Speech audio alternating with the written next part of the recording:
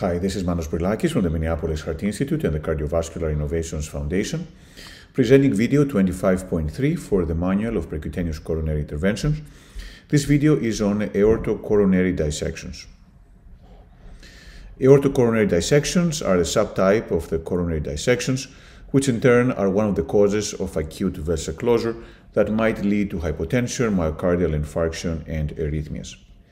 These are some examples. This is an example of an aortocoronary dissection happening when contrast was injected through a deeply seated guide catheter extension.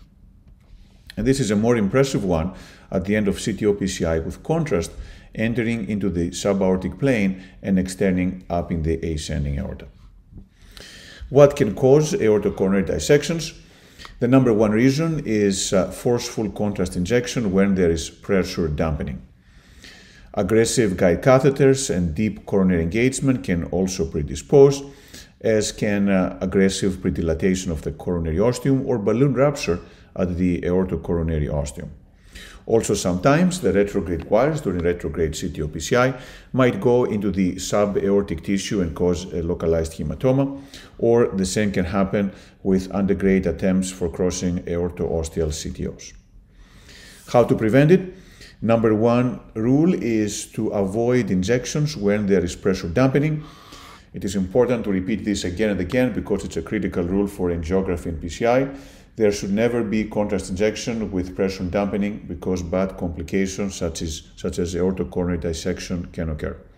This is especially true when aggressive guides, like the Amplatz left, are used and when guide extensions are intubated deeply into the coronary vessels.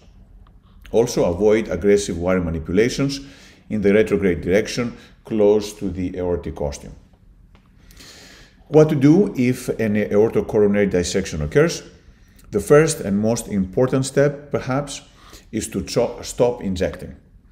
Injection of contrast can actually enlarge the aortocoronary dissection and make it worse.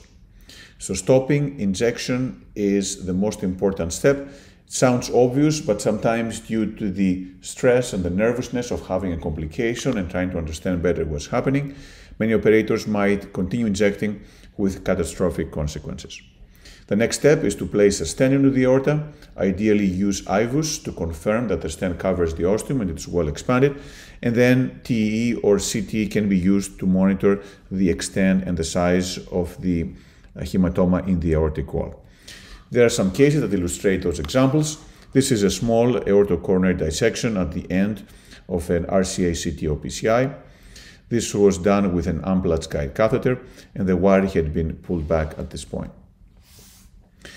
To avoid uh, extending the dissection, what was decided to do is to remove the Amplatz guide and then try to wire with uh, a JR4 guide catheter and then eventually using the JR4 and the workhorse wire that was looped, uh, we were able to wire through the previously placed stents. And this was easier to do because there were already stents almost all the way to the ostium.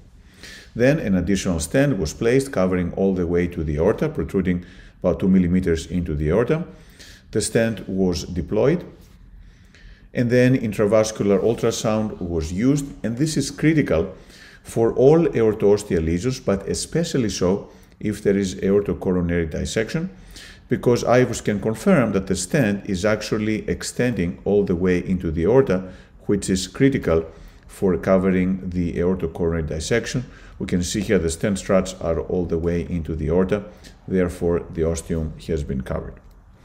This is another case, also RCA CTO. We're essentially done taking final pictures, but unfortunately, by doing so, Again, with an Amplatz guide catheter and with pressure dampening, there is both a dissection going down, even though we had stents uh, placed before, but also there is an aortocoronary dissection propagating back into the aortic cusp. Once again, the therapy was to stop injecting. The Amplatz guide was disengaged while maintaining wire position, and that can be tricky sometimes because by pulling back the guide, the wire may come out as well. But fortunately, in this case, we're able to deliver the stent first, then carefully back the guide out, then deploy the stent covering the ostium of the vessel. Then an ostial flash balloon, which is a balloon that flares the aortoostial stents, was used, to flare the ostium of the vessel. And uh, this provided a nice result. As you can see, we're injecting very cautiously at this point with the guide being disengaged essentially from the vessel ostium. There was no treatment done for the most distal dissection. The patient was brought back several weeks later.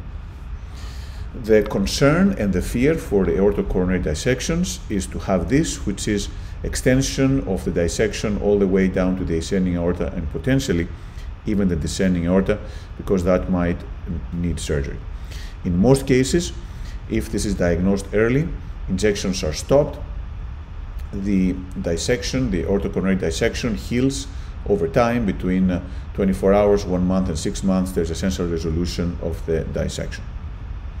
So, in summary, the key way for preventing aortocoronary dissections is to not inject if there's pressure dampening.